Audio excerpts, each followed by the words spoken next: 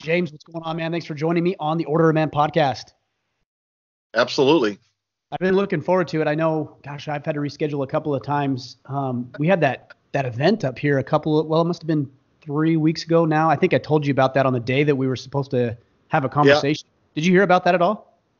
Uh, no, but uh, for everybody listening, I get this text is like, "Hey man, I know we're supposed to do a podcast, but I gotta do some hero shit. So can you reschedule?" I'm like, "Yeah." I, I, appreciate your understanding. Uh, if anybody would understand that, it would certainly be you. yeah, it was pretty wild. We had this um, this building in a in a neighboring town pretty close to us, and uh, it had been pumping full of propane because there was a leak or a, a malfunction with the tank, and it had been pumping full of propane upwards of 400 gallons of propane over the weekend. And uh, uh hopefully, uh, uh, luckily, unfortunately, they evacuated everybody in the building. Uh, there was a it's a school bus stop right by there. They they got the kids out of there beforehand. They had got on the school bus, but yeah, there were some firefighters in there when the building exploded. Um, pretty pretty devastating to them and their crew and the community. It's been rough wild stuff. I guess uh, I guess what we're talking about, whether it's a, a, a violent encounter, a potential violent violent encounter, or just being ready for these types of emergencies, is critical. Yeah, When it's least expected, you're elected. Yeah, I think I that's that's a great way to say it. I was looking at uh, some some things maybe on uh, on Instagram today, looking at you and seeing what you were up to, and I think you had um, made a post about no days off. There's no days off. There's no time off. Like you've got to be on 100% of the time. Yeah, I I mean like I get up and get dressed, and all these guys are like, "Well, I don't want to carry a gun. That's fine, but I carry two guns, two lights. I carry a medical kit two, with two tourniquets, pressure bandages, chest seals. Like when I, it's part of what I wear every day. And and this is when I'm not expecting any trouble at all. And uh, and there's just so many, and I know how to use all this stuff. And uh, and uh, so many people want to make excuses, but nobody. I've never heard anybody uh, retelling a story and saying, "Man, I'm glad I didn't have that tourniquet. Man, I'm glad I didn't have that gun." I've I've just never heard anybody say anything like that before. Yeah. Uh, what is their reasoning when they say, "I just don't want to carry a gun"? I mean, it's it's I guess maybe not convenient. Is that the biggest issue? They say they're not comfortable, and I go, "They're not mm supposed to be. They're supposed to be comforting." Huh. And uh, like, like a dedication. Same reason people won't get up and and work out or or you know whatever, just like like a motivation, dedication. Yeah, and it seems to me just maybe even just a priority, right? It's not a priority. I think most people would rather remain ignorant, uh, keep the blindfold on, assume that you know nothing's going to happen to me. And you know what? Odds are it's not, but you don't want it to be the day where it does happen to you and you're not ready for it.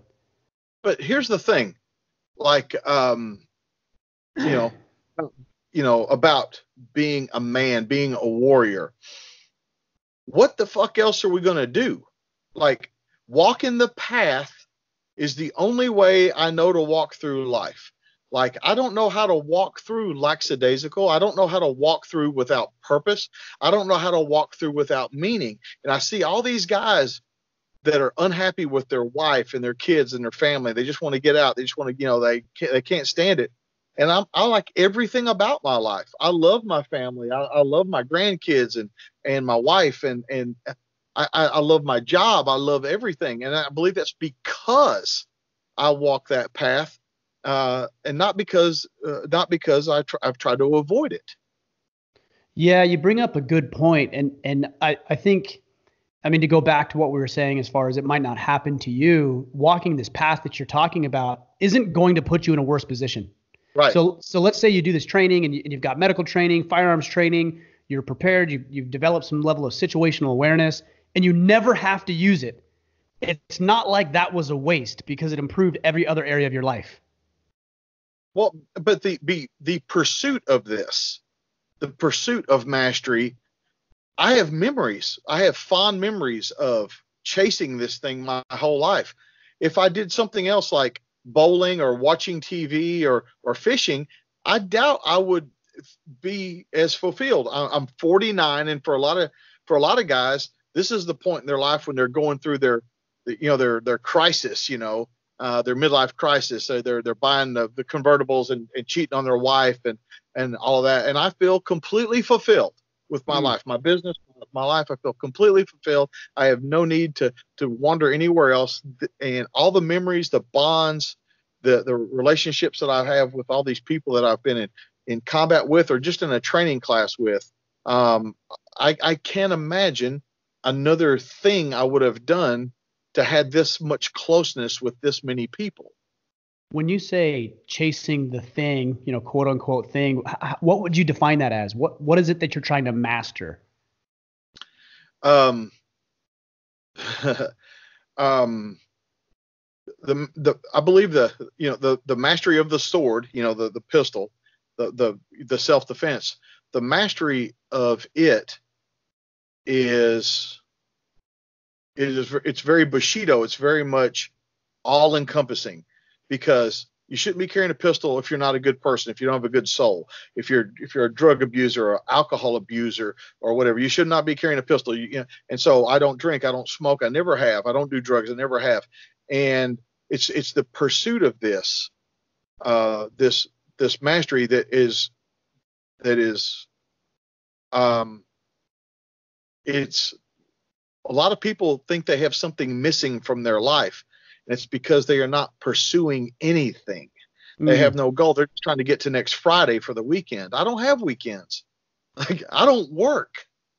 Um, I, I don't know if I can if I can nail this down to a uh, according to Hoyle kind of definition for you, but uh, uh, the martial lifestyle is the path, and and when I first started walking it, I thought there would be an end or I could get to a point where I could see further or whatever. And I I realize now it's just you got to keep slugging along and and the pursuit of that perfection. Uh, and I'm not going to say my life is perfect, but that pursuit of that perfection is what keeps me fulfilled and keeps me on track, keeps me again, uh, it keeps me honest, it keeps me faithful to my wife and to my family and and all those things. Because if if i'm not if i'm a liar if i'm a cheat if i'm a scoundrel then I'm, obviously i'm not walking the path and cannot and that cannot continue. Yeah you know i imagine that the skills that you develop are very translatable to other areas of your life. And and that's what i would say to other guys as well is you know training with a pistol uh, training with martial arts being prepared like this stuff is translatable. It's not only applicable to some sort of emergency or critical situation you may find yourself in. Yeah, I mean, like for instance, like if you're walking the path, you're not a road rager. You're never mm. gonna blow your horn to show an emotion. The only the only way a martial artist would blow his horn is to prevent an accident, never to show emotion. Mm. Uh, and so that's that's one example of it. Like like there's been many times I've thought to myself, if I wasn't wearing the, this pistol, I'd bitch slap that motherfucker right now. Mm. and and it's not the way. It's not the path. I like that. That's that's the uh, the adage with with great power comes great responsibility, right? And it seems like your ability to do, frankly, to do harm to another individual, uh, it seems like you take that very seriously and you carry a lot of responsibility with that with that power that you have. Absolutely, that's a that's a quote from Spider Man. I've been a that's right. Fan. That's right. I've been a Spider-Man fan since I was a, a, boy. My mom actually blames the old Spider-Man comics on my sarcasm because he was so sarcastic back in the old comic books and stuff. She actually blames Spider-Man for that. But um, uh, well, let's talk about Spider-Man for a second. It's a perfect example of the duality of man, the yin and yang inside of a man. Spider-Man never had a bad day. It never rained on Spider Man. Spider Man was on top of his game. Everything was perfect for Spider Man. The exact opposite was true of Peter Parker. It was always raining on Peter Parker. Women never liked Peter Parker. He was always broke. He was always, you know, it was always he's Peter Parker walked with with his head down. Spider Man walked with his chest out. And uh, there was there's that's a very that that comic for me as a kid started showing me the yin and yang of of who each human being is. And um, and along those lines, and and and I, am not saying this to to nitpick with anybody or whatever, but uh, violence is a tool of evil and force is a tool of good. And so, mm. like when when a, when a bank robber is shooting at the police, they are being violent. When a cop shoots back at him, he is using force. And I believe that is the yin and yang of of you know the wicked things that men do to each other. I, I, I don't believe that that I am violent. I, I, believe that I use force when necessary, and violence is a uh, is again a, a, tool of evil. That's interesting. I've never ho- looked at it like that. On the surface level, I don't know that I necessarily agree with that, but I, I, do see the distinction of it. I understand that that the way I say it is is unique and different than than the way most people look at it. I don't, and I understand when somebody says, you know, this, you know, using violence, you know, in a in a in a martial way. I know that it's a, a good thing. I know that that's how they mean it. But um, if we if you look up the definitions of those words, uh, basically the basically there is a difference between those two things, and violence typically is what the bad guys use.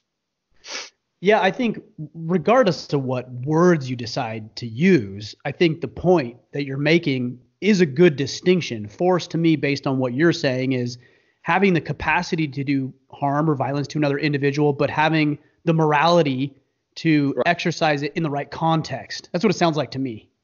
Yeah, it's the exact same thing. It's the morality that separates the two. Where do you believe that uh, that morality comes from? Is that a, is that a higher power? Is that up to each of us to decide? Is there some sort of standard by which it's measured? What's your thoughts on that? Well, it's it's definitely nurture over nature. I, I, don't believe we're born with it.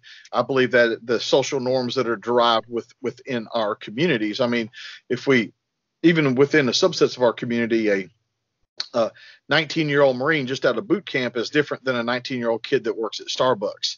Mm-hmm. And uh, and th- their their worldview is different. Uh, even though we're from the same society, um, I believe that uh, that the the young Marine has a completely different uh, understanding of the use of force or violence or however you want to say it.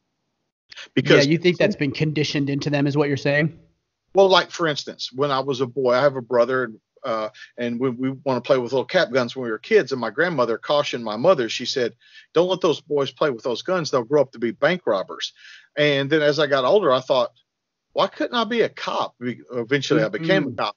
Why, why did it why did it have to be bad? So the reason I make the distinction between violence and, and force is because not every use uh, of force is violent. You know, it's it's, uh, it's not it's not a matter of rage or or, or to to take something from somebody. Eh, eh, we we could talk about that for, for yeah. I mean, depending on the situation, right? There might be a situation where where you you potentially need to restrain somebody, but that wouldn't necessarily be violent.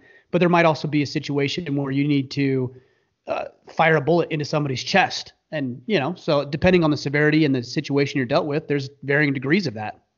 Right where did this all start for you? You know, you you were talking about Spider-Man and and and beginning to walk this path. Like, what did it look like for you when you got got going? Well, uh, as I mom and dad got a divorce when I was five, so I was raised with a by a single mom, and she worked all the time. And I look back now, and like she took us to to little league and to karate and to boxing and all these things when we were kids.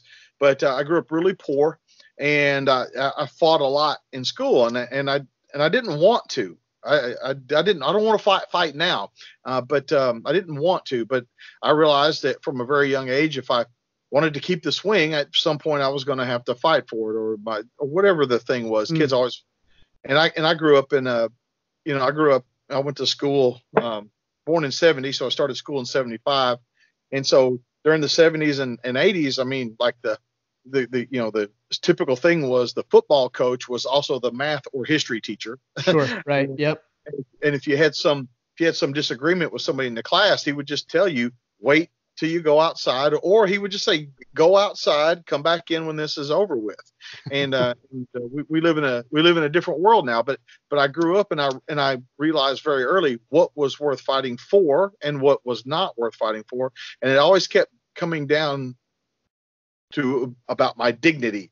I didn't want the the older kids like you know pushing me down, sitting on my head. I'd seen them do that to other kids, and so it was always about my dignity and and who I was as a person and self esteem.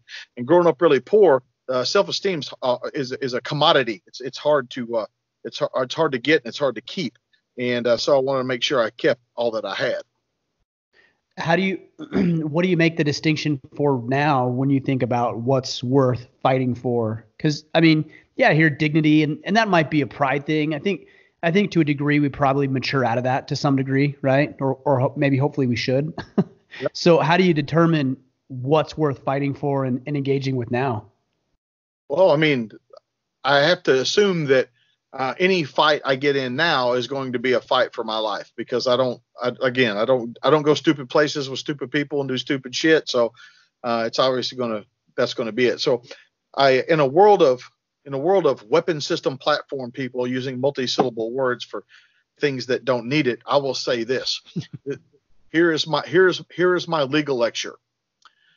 Before you put your finger on the trigger, ask yourself, whose life are you about to save? Mm. And uh, that's that's your legal lecture. That's all you need to know to carry a fucking gun around. If you follow that, and you can save your life, you can save a total stranger's life. Uh, but we don't use guns to kill people. We use guns to save people, and that's and that's how I that's how I live my life.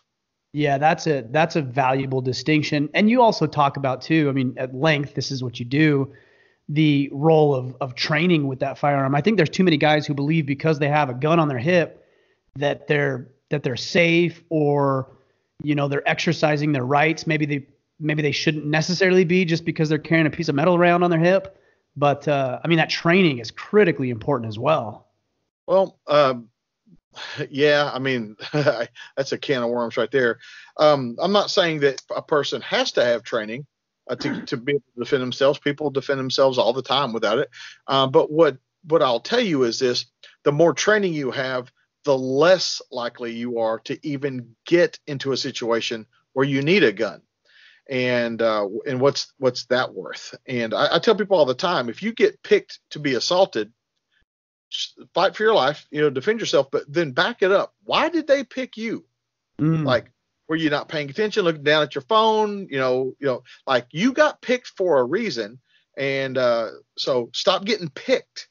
Um, but um, but a lot of people carry a gun uh, as a as a magical charm, as a talisman to ward off evil spirits, and and uh, unfortunately, because of movies, you know, they they think that they don't have to practice; they just shoot and people fly through the air and all that. But uh, for the people that do go out and train with me or somebody else, they realize very quickly what they were missing.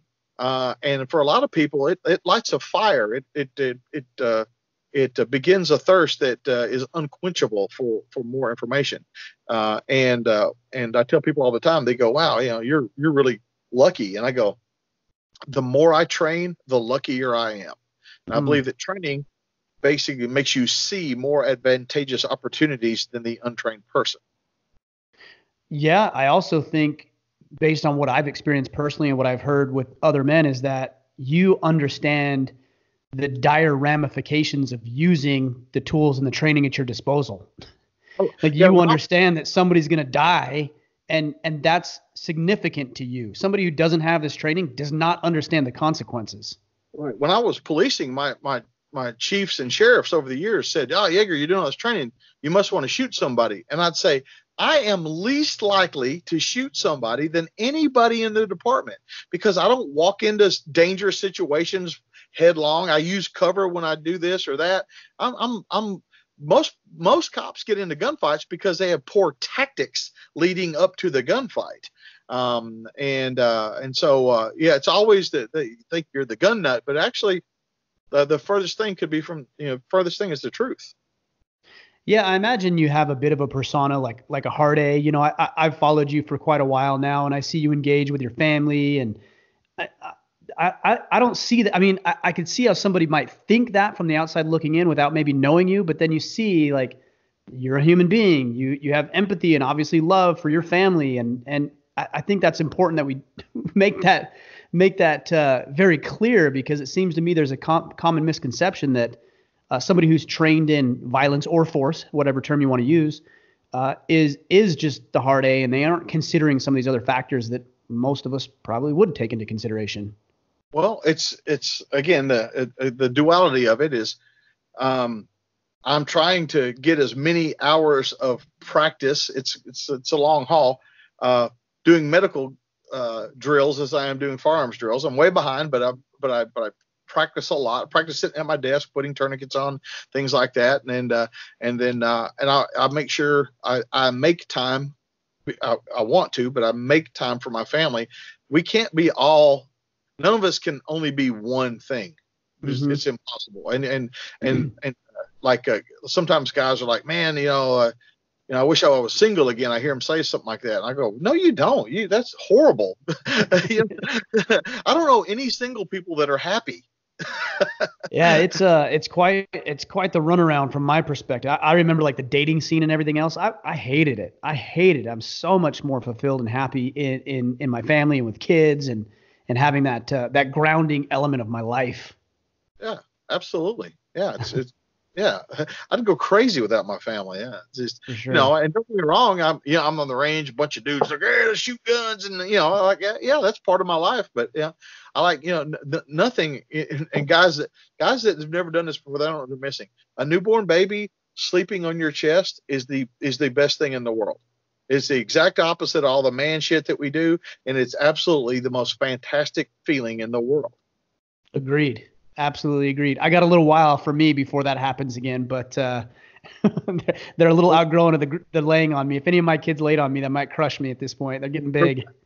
well, well, I'll have my sixth grandkid and uh, my uh, my uh, uh, third grandson, fourth grandson here in uh, January. So I plan Awesome. on getting that little guy. So Yeah, congrats. That's exciting. Yeah. I want to go back to uh, what were you talking about with with not being. I think did you use the term selected or picked? Uh, what are some things that somebody who's in a public in an an outside setting, public setting, uh, do to avoid being selected or picked by a, a would-be criminal or it's easy. Uh, yeah, it's, it's totally easy. We are hunters. We have binocular vision. Our eyes on the front of our head. Food has eyes on the side of its head. Predators, which we are, walk with their head up. Uh, I tell people all the time when they when they have their I don't have my phone here. I don't bring it into the interview, but we'll say this thing is a phone. I tell Mhm. people all the time. There's no rule that says that you have to look down at your phone. You can hold your phone up. You can hold your phone up like this, but people don't do. Every time people's got their phone up like this, they're taking a selfie, right? yeah, But you yeah, can walk around. You can walk around with your phone like that. But I tell people all the time, uh, unless you're in a unless you're in a, a relatively safe place, don't look at your phone. And especially if you're walking in public, you shouldn't be looking at your phone. You know. But uh, basically, big picture stuff, binocular vision. Keep your head up. Keep your shoulders back. That's and that's that's the biggest thing. It's kind of like the uh, the the joke. Uh, I don't have to outrun the bear. I just have to outrun you. But you don't Sure. have to look like the baddest dude that ever walked the earth. You just have to, as they look out, like, no, not that guy. No, not not him. And and and you'll notice if you start walking around or keeping your head up out in public, you're every once in a while you're gonna you're gonna catch a set of eyes looking at you. You're either looking at you're either looking at a wolf or another sheepdog. That's it. That's Mm. the, that's the only eyes that you will see as you look around. interesting. Yeah, as you look around and you make eye contact with a dude, he's either a really good guy or a really bad guy. Yeah, and even if he's a bad guy, it's good that you acknowledged him because you got your eyes on him, and he sees that you got your eyes on him. Yep. Uh, Pat McNamara, who I know you're, you're a friend uh, of and, and with, he talks about the same thing, 45 degree culture, he calls it, where your head's just always on that 45 degree line, looking down at your phone, not being aware about what's going on around you. Yeah, it's tough, tough. Pat's Pat's a good dude, man. He's 100 miles an hour. I like that guy. No doubt. I mean, we, we him and I had a conversation. Uh, must have been about a month ago or so, and uh, man, fa- fascinating man. Um, and like you said, I think that's a great descriptor. 100 miles an hour, no stop, no quit, just go, go, go, go, go. Yeah, yeah. yeah. And uh, That's he's, awesome. he's one of the few guys, uh, one of the one of the few guys that I host here at my range, and um, because I tell my students walking the path, you can't just train with me. You can't just train with any one instructor, and so I bring in guys that I respect, like Pat and these other guys, and uh, Super Dave Harrington and John Farnham, and and and these guys. I bring them through. And I do do something for them, and I do something for my students because what I do for them is I don't charge them a range fee to use my range, and I and I recruit classfuls of people for them, and so I'm doing a favor for them and for my students, and uh, and then and then my students are more fulfilled, uh, and my friends have another stop on their their list. They're trying to make their their house payment, and now they can make their house payment. You know, so yeah. uh, so it's it's it's that's a lot of fun for me to do. Is the goal of getting them multiple trainers, different looks, just to get them different exposure, different lessons? People learn things differently. Is that is that the whole idea? it's all that and you don't know if what I'm telling you is correct unless you hear somebody else say something different or the same or whatever the case may be. I mean, mm-hmm. uh, uh, uh, I tell all my students it's, it got, it's got to pass the smell test. If I'm teaching you something, it smells like I'm just making something up or smells like I'm trying to justify teaching this thing. I said, don't, don't listen to me. You know, it should just make it should just make sense. Like this stuff's not that complicated. People try to overcomplicate this stuff, like I was just telling you about, like my legal lecture and all that stuff. They try to overcomplicate this stuff, but it's not complicated. Uh, it's the, the the the problem is is that um, you have to be closer to the master end of it uh, than the beginner side of it to make it simple. yeah, so, that's true. I mean, it, even if you just look around on on social media, look around on Instagram, every every dude with a gun is an expert, right? And and and I, I've found not only when it comes to firearms training and martial arts and things like that, that the more complicated somebody makes it, yeah, the less likely it is they know what they're talking about, and the harder they're trying to sell you their course or their program or whatever it is they're after. Yeah, I call it wordiology. Yeah, but like, it's true. I, will give you an example. Since we were just talking about Pat Mack, this is this is relevant or semi-relevant. Um, so when I take these classes, when people come through, I've been doing this a long time, and I'm not going to say I don't learn things, but I don't learn as much as I did when I was a beginner. And when I was a beginner, I was learning how to shoot, but now what I'm doing is I am listening to what do they say, what words do they use, how are they explaining these things. I'm looking for like the sprinkles, you know, like the like the little stuff that just makes it work. And Pat Mack gave this explanation for um, natural point of aim. He said, comfortably on target without muscular input. Mm. Only a master can say that. Right. And as soon as I heard it, as soon as I heard it, it smacked me in the face like that. Like if, if people say stuff like, you know, uh, it's enough to learn one thing. Uh, not when you spend a lot of money to go to a class. You should learn more than one thing. But if I was looking for one thing, that's that was the thing that that's the reason I attended that class. That uh, and I and I use that in my class. And I go, hey guys, you know, natural point I aim. I got this from Pat McNamara, and I tell them just what I told you, and people go, oh yeah, yeah, yeah. You know, so but but that's my point. Is it's it's obvious that Pat not only can operate the gun, he can operate the range with the same level of, of competence when he can do stuff like that. Sure. So explain that a little bit to me with natural point of aim. Is it basically bringing your firearm up to your up to your so eyes or up to your face with? Have you ever heard, have you ever heard the term before? No, never heard it. Mm-mm. Okay, so imagine a sniper laying flat on the ground, looking through his scope at a target. Mm-hmm. So natural point of aim is if you completely relaxed, is the reticle still on the target, or mm, you got to move like tensed up and everything. Right. So if you set your sandbag and everything up so that the gun is and you are just laying perfectly there, uh, then when you shoot, you're going to be a more accurate shooter because you're not fighting the gun back and forth. So this it's like that's like the last little bit for a rifleman to perfect is that natural point of aim, and it applies to every other every other thing you're doing with a gun, but it mostly applies to laying prone on the ground in some kind of position with a long gun, you know, to shoot a long distance. Sure. That's where, that's where it's most critical. Yeah, I mean that that makes total sense. I think that applies just broadly to life too, whether you're doing a podcast or training jujitsu or archery or having conversations. How comfortable are you so comfortable with it that it becomes second nature and natural for you? Right. Right. Yeah.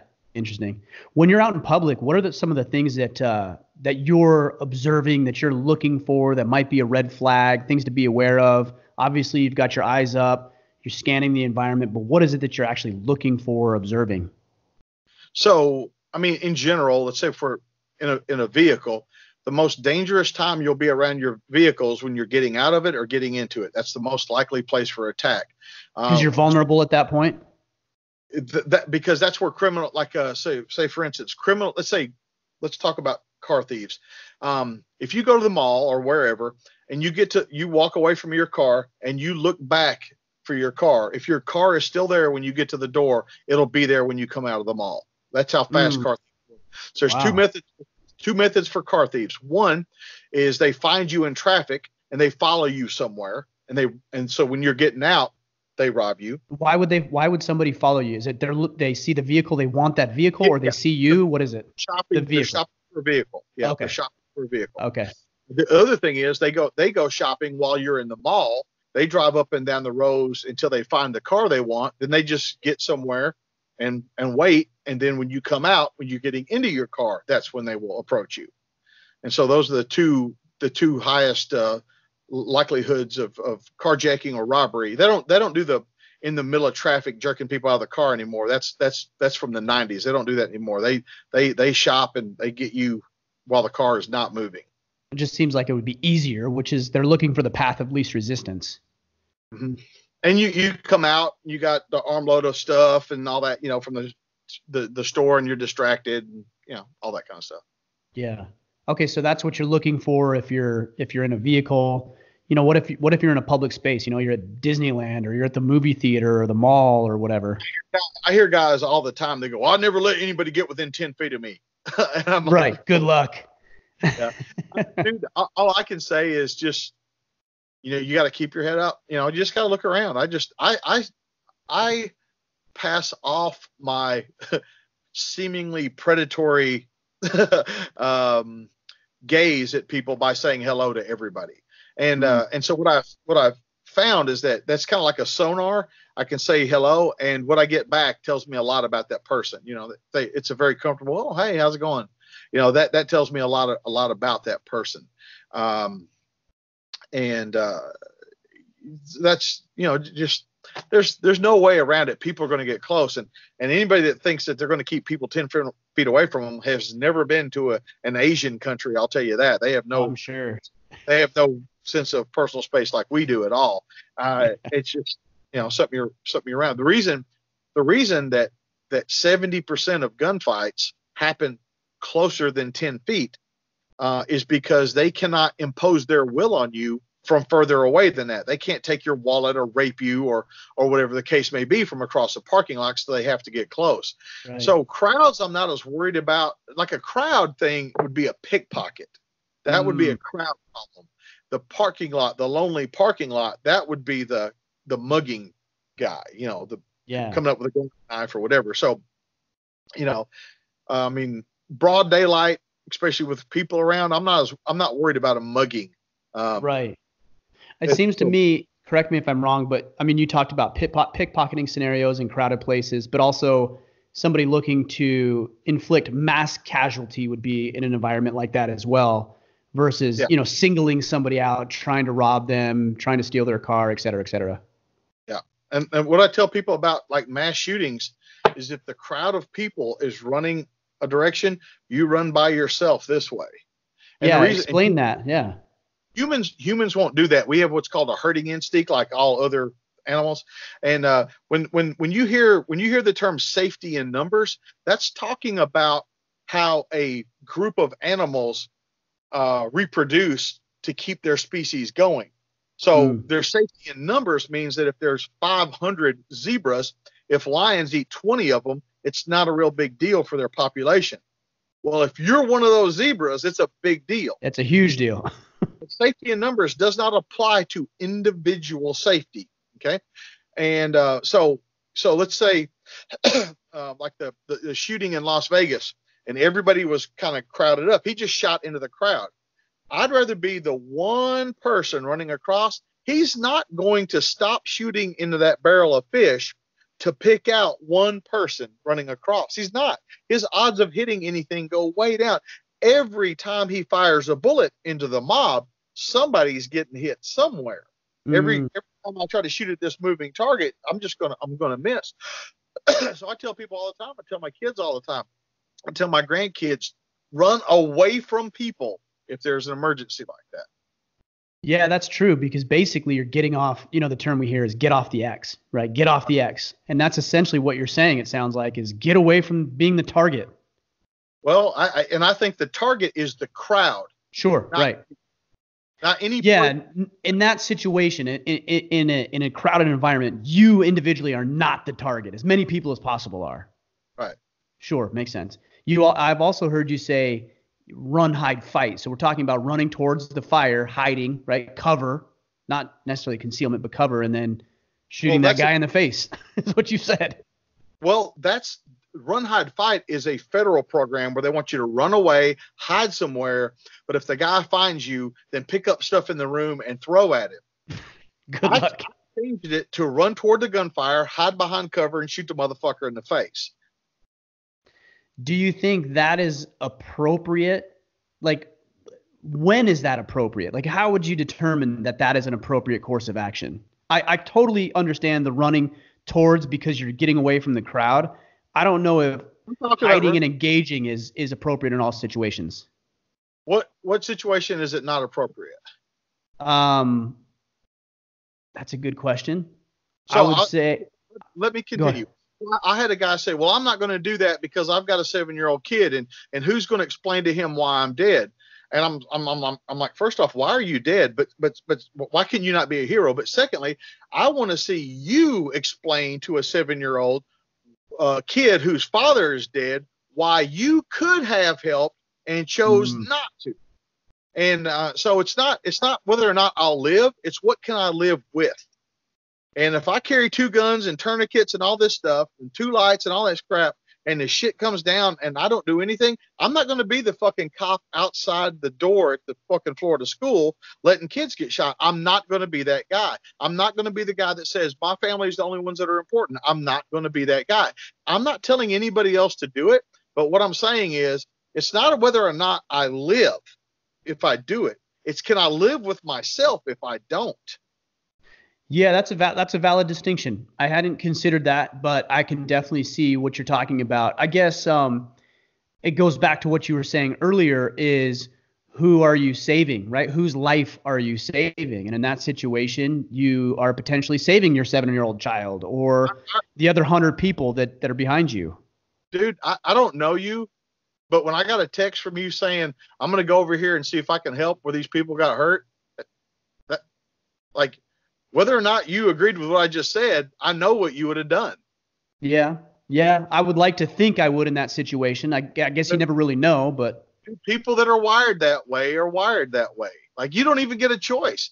Um, I, I, I, see you got some red in that beard. yeah, that's right. Yeah, absolutely. Have you read Have you read the book Born Fighting? No, I haven't. I'll have to check it out. You have a genetic predisposition for warfare. All you, Hmm. all teachers do. Is that Uh, right? Interesting. Forty-seven percent of the combat deaths in Vietnam were Scotch Irish. Oh, really? Yeah, yeah. absolutely. Interesting. There's a I'll book have to called check that out. Born Fighting. Yeah, you you would dig it. You would dig it. But uh, I got a little red. I got a little red in mine, but I'm not a full, see it. Not a full Yeah. ginger. I'm a, day, I'm a day walker. I can tan. I can't. I go from white to red back to white. That's all I do. So the, the the gingers hate me. They can't steal my soul. I got all your all your powers, but none of your weaknesses.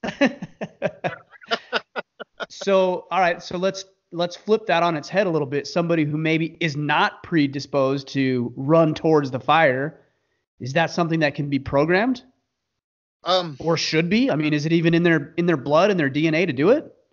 I get asked a lot, and um, my my thinking is that uh, that everybody's a fighter genetically. I mean, we've been on the earth, you know, a couple hundred lifetimes now. Like you're carrying somebody's DNA that was a fighter. There's something in you, and I mean, no doubt. No doubt. The best of the best. right?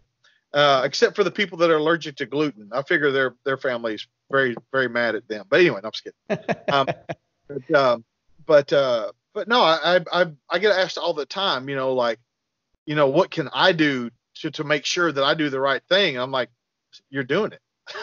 like you're Mm. thinking about it. You're you know you you can make a decision. I mean, you know the the uh, you know courage is not the absence of fear. Courage means you're afraid and you do it anyway. And uh, I, I mean, I've, I've got a, a lot of friends in the it, cops and SWAT cops and Rangers and SEALs and Special Forces and Delta Force and, and all of them, and, and they've been in tons of crap. And I go, "Were you scared?" And they go, "Fuck yeah, I was scared." Like none of Mhm. them, none of them shy from that, Sure. you know. yeah. Uh, you know, so but uh, I, I say if you make the decision, then the decision is made. Yeah, I guess it would take for somebody who may not have uh, have as much of that in your DNA, like you're talking about. It would have to be more of a conscious thought ahead of time, training and thinking about it ahead of time in order to act in that situation, act with their their their moral compass, if you will. Right. Makes sense. Yeah. That's so go My ahead. theory. Yeah. So somebody who's who's interested, because I know there's a lot of guys who who would be interested in firearms training and interested in, you know, just making themselves more capable as as as like Pat would say, a, a sentinel, right, or protector. Like, wh- I- what is it that they should be doing? What that what should they be looking into? Where do they get started? Like, like how do we get going with this stuff? Uh, you know, that's that's a tough. That's a simple question, and it's a very complex question at the same time. Um, like if somebody came to me and say, "Hey, I want to I want to do this gun thing," I'd say, "Don't buy anything. Hmm. don't buy don't buy anything. Come to a class. I'll loan you a gun." And take the class, and then when you leave the class, you'll you'll be an educated consumer.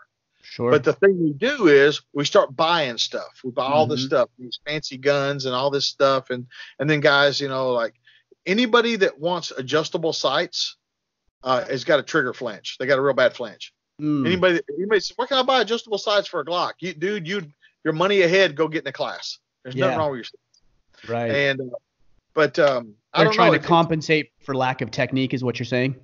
yeah, yeah. Oh, absolutely. Sure. And well, the thing is, we, we can buy gear, we can't buy skill. And if we buy if, if we buy gear, like like Taran Butler is a fantastic friend of mine. He's crazy, he's a fucking loon, but what a friend, what a great guy. I've got some of the Taran guns, you know, the John Wick guns. I've got some Oh of them. yeah. I can't shoot like John Wick. Mm-hmm. yeah. Yeah, I've heard somewhere. I can't remember what context, but they said something to the effect of if you could choose to have the the gear or the skills, and it could have been sports, it could have been in firearms training. I don't know what it was.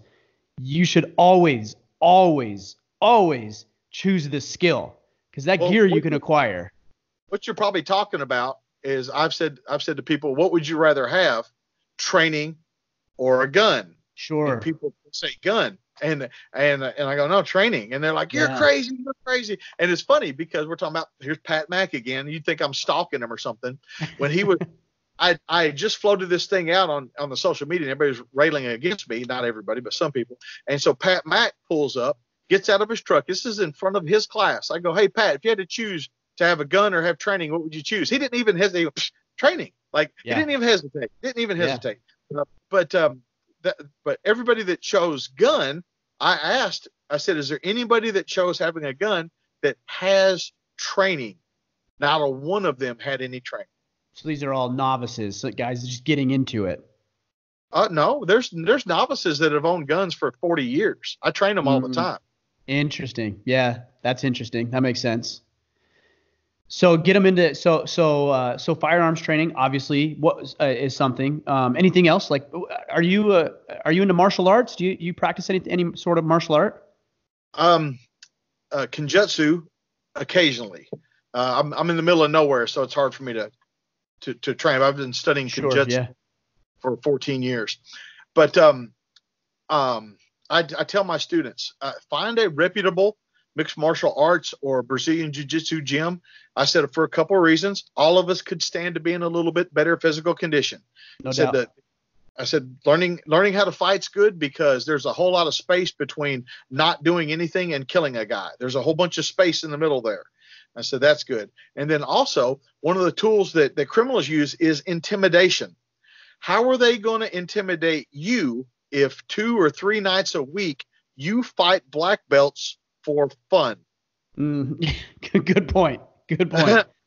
well, I mean, so there's there's three really good reasons to pick up some type of you know, or wrestling or boxing. I tell people all the time, don't fuck around with a 160 pound high school wrestler. They will tie you in a fucking knot. No doubt. That's absolutely true, man. Well, and, and not only that, even jujitsu. You know, I I- when I when I started training, uh, yeah, 160 pound guys, even females. Like, there's no way this this this woman or this this lightweight is gonna do anything to me. And all of a sudden, I'm like, he's got his arms wrapped around my neck, and I'm like, okay, I'm done. I give. You know, it's like that training, even just a little bit, goes such a long ways. Absolutely.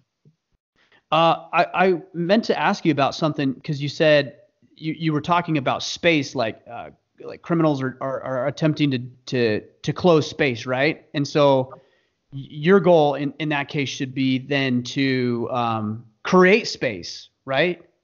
Or or close the space. Never hang it because I've heard of I've heard of it defined as like uh, maybe you have a, a different term for it, but um, green, red, green, right? So Now- is that okay? So explain it to me. So uh, let's say if somebody's going to attack me, um, and let's say they're they're raising a knife or a bat or something like that.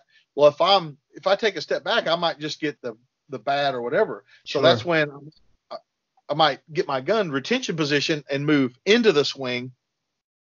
So you don't And the- catch the brunt end of that weapon. Right. So I stand, so I get hit by their arm as as they're coming around with it, instead of instead of it that thing smacking me in my head or stabbing me in my chest. How much of this is reactionary? Just and when I say reactionary, I'm not even necessarily talking about can answer trained reaction. I can I can answer your question. If it's if you have a pistol in your hand, it's reactionary. You have a long gun in your hand, it's on purpose. Mm. So you would not, but again, having a pistol in that reactionary is is it has to be trained, right? I mean, you're not naturally going to go for that if you had if you don't have any training. Oh yeah, no, it, it all de- you, you have to be trained. Yeah. I guess what I'm alluding to is, um, are you you're familiar with Tony Blauer? I know who that is.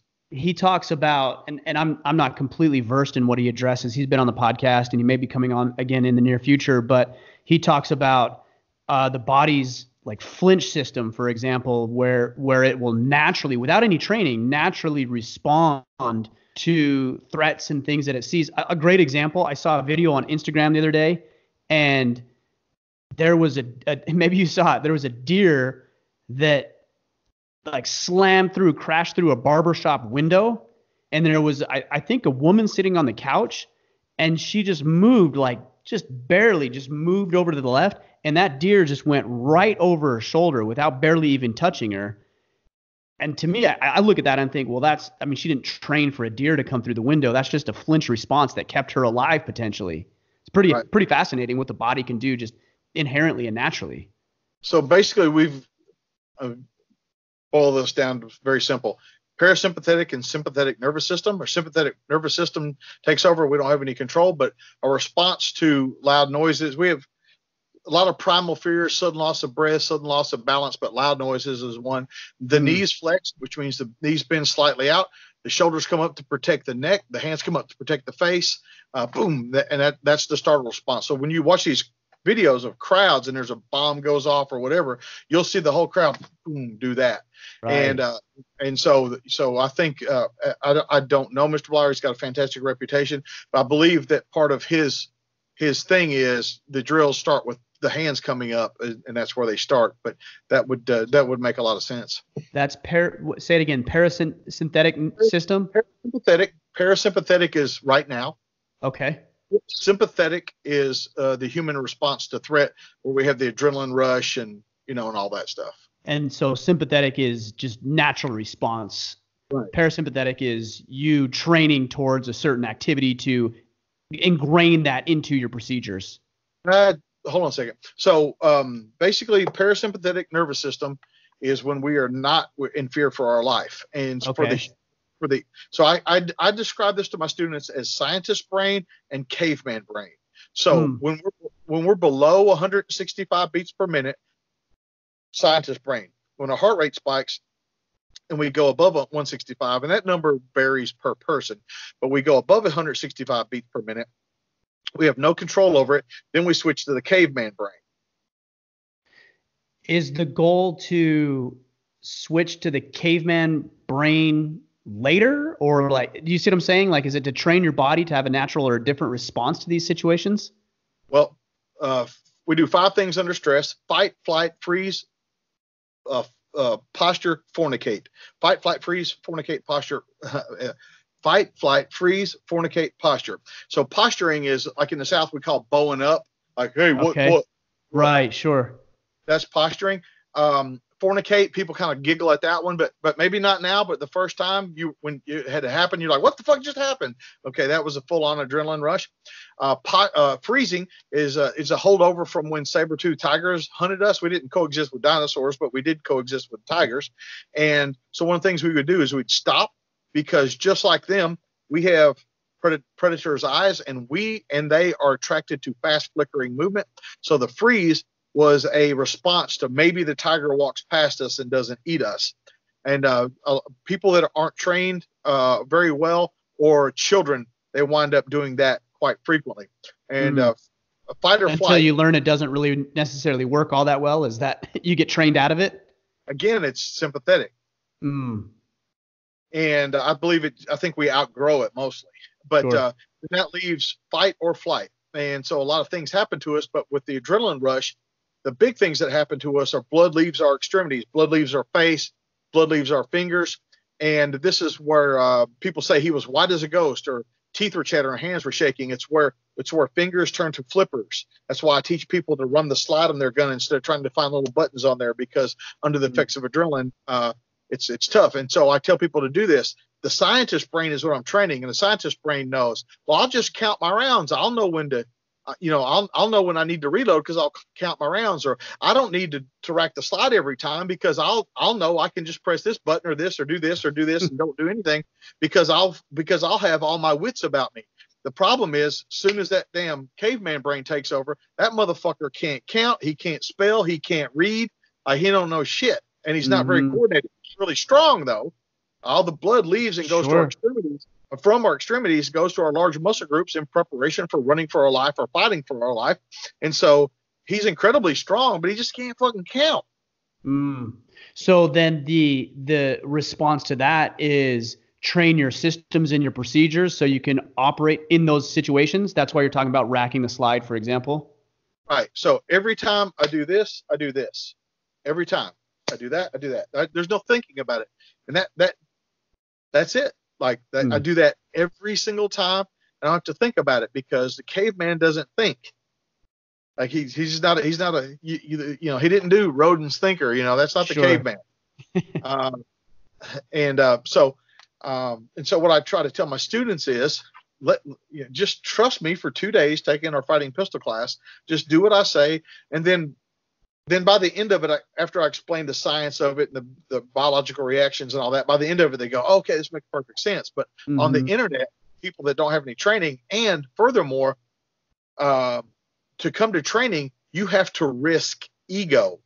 And most mm-hmm. men are unwilling to risk ego, uh, so they won't go and do things. So, see, getting married is why women get married so they don't have to have sex men get married so they don't have to dance anymore because we fucking hate it because it fucking makes it makes us risk our ego. If we don't look manly out there, it doesn't reinforce our positive self-image. We don't want to do it.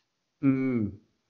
Yeah, that which is interesting because it's kind of counterintuitive to our our natural inclination as men to step into the role of protector. It's it, it's a direct odds with it because what we end up doing is is exposing ourselves to all these risks for for the sake of maintaining our ego. It's crazy. It is interesting that you're talking about this these different types of brains because I've actually experienced in my life where I turned into those and I didn't have the term, but the flipper hands where I noticed my fingers started to tighten up a little bit and I couldn't I couldn't I couldn't manipulate them, right? I couldn't flex them. And and what's interesting is you can't outthink it. Oh. Right? I'm like, what the hell's going on? Like, I need to be able to like, come on. And you just can't outthink it.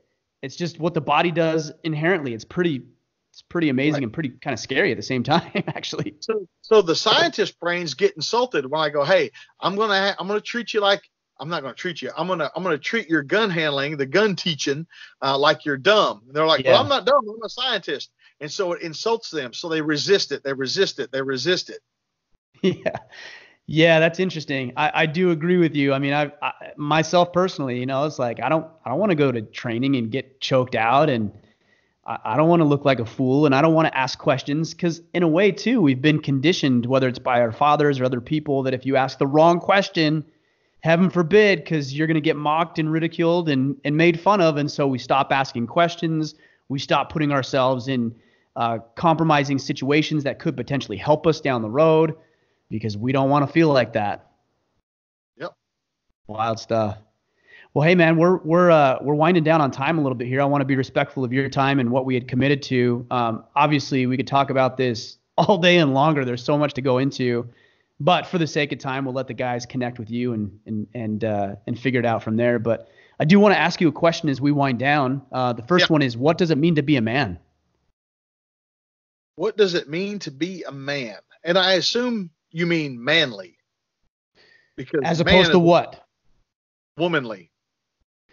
Yes. Uh, so not so yes. Manly. in this- absolutely. In this crazy world that we live in, man used to be a biological reference. Sure. And I and Hey- I would consider that male. I, I get it, but I'm just saying. I just want to be clear. How about this? Uh, and I'll start with this. Um, and you probably don't expect me to quote Albert Einstein, but um, Einstein said, "To be a warrior, and I believe manly, to be a warrior means to be um, genuine every moment of your life." And so I think that what being a man is is being yourself, telling the truth, doing the right thing even when it's not popular, I believe that that's what being a man is. I dig it. And I appreciate that about you. Um, like I said, I've been following you for a while and, and, and been into your stuff. And I'm going to have to actually take some training from you. I think that'd be a lot of fun and definitely help me as well. Uh, but I, but I, I recognize that and acknowledge that of you as somebody who's willing to say what needs to be said, although it may not always be popular or make people feel warm and fuzzy. Uh, it seems to me it's the truth and it will help people along the path. And that's what definitely what you're doing. So I appreciate that. Now, normally this is where I ask people to uh, let us know how they how we can connect with you, but you already told me what your response is to that. So my res- my response is always, uh, if they are too stupid to find me, I don't want their money. And uh, we talked about this earlier, but if you were insulted by that, I don't want you as a student. And and here's my thing, uh, not everybody deserves to train with me. Not everybody not everybody gets to. There I, there's a lot of people I I dissuade from from from training with me because they don't. I don't think they'll appreciate it, and I certainly won't appreciate their attendance. What might be a red flag that would that would be an indicator of that? um, people saying, "I heard you do this at your classes, and I don't want to do that." Whatever Mm. that, whatever it is, you know. Yeah. So you think they're probably coming in with an ego or some sort of uh, preconceived notions of what this is, or they think they already have it figured out. So everything they're they're going to try to undermine all of your training. On uh, on the gear list for all my classes, the first thing on the gear list is an open mind. So when you send me a email and you say I'm not going to do this or I don't want to do that in your class, before you even heard why I'm teaching it or how I'm teaching it, uh, that tells me you don't have an open mind and you therefore don't deserve to be a student. Hmm, I can appreciate that for sure. Definitely. Not popular, right? Because everybody has to be welcomed and everybody has to be appreciated and everybody has to feel good. Not necessarily popular, but the truth. And I can definitely, definitely appreciate that. Listen, listen. I trained uh, 5,712 people last year, and other instructors who are my friends but don't have nearly that kind of attendance. They always come up to me and they go, "Man, how how is it that you talk to people like that and they still come to your classes?" And I go, "Those people don't come to my classes." Great point. Yeah, you're not having to convince those people, right? No, that's good. That's really good. Well, hey James, I appreciate you, man. I know we we had to we had to reschedule a couple of times, which I take responsibility for, but I do appreciate your time.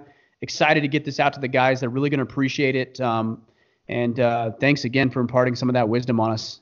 well, well, uh, I'm holding you to coming to a class. I'm holding you to that. Where? So tell me where you're located. Where's home for you? What state? I'm in Maine. Uh, the closest I get to you is Pennsylvania. Okay. But Tennessee, Tennessee is my home base, and if you came to Tennessee, I could give you the VIP treatment, which means not really much. well, I'll uh, I'll come down there. I've got my in-laws in uh, in the Nashville area, so I'll come down there and pay you a visit.